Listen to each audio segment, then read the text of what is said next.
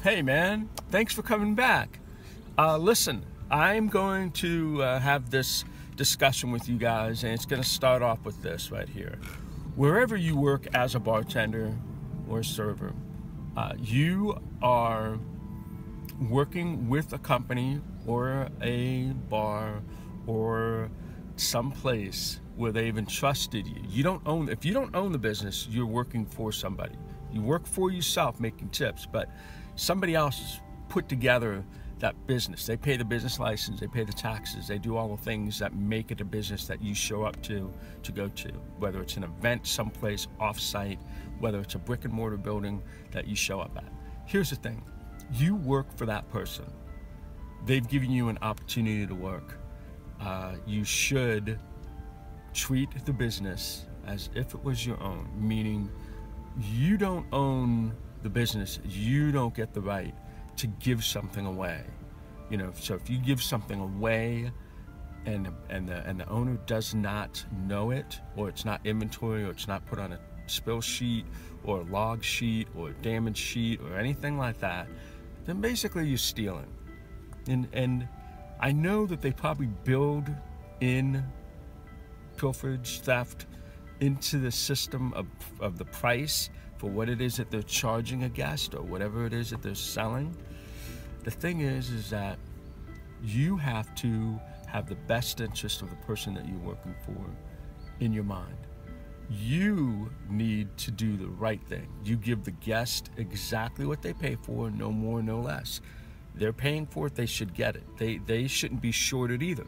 So don't short your guest uh, on alcohol because it's just not right either. So you steal from guests, you steal from your owner or the person who's in charge of this company or whatever, you're a thief. Okay? And if you're a thief that way, then guess what? I would hate to work with you because you're probably going to take tips and put them in your pocket as opposed to putting them in the tip jar where everybody's supposed to split it at the end of the night. Can't stand that. That's just not right. Okay?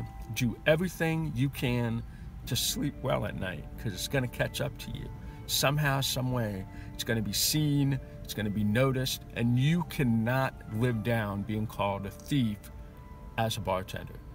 You can be called a bad bartender. You could be called clumsy. You could be called not informed. You can just be a really shitty person. But you can never outlive a thief. Never. It's it's like somebody calling. It just can't be done. And once people think you're a thief, then then they don't trust you, and it's very hard to have any kind of interaction or any kind of business. So just don't do it. Treat everybody right. Ring them up right. Ring up whatever it is that you sold. You know, cash them out the correct way. Take care of people, okay? Because they're taking care of you if you don't like the situation that you're in, if you want to get back at somebody, the best thing that you can do is just move on to a nicer place. And that just requires you to do the very best that you can to want to be recruited by another bar or another location or another owner. And it's never going to happen if somebody hears that you're a thief. So always do your best, always do the right thing. That way you sleep well at night and good things do happen to people that put their time in, pay their dues, and just are not accused of being thieves.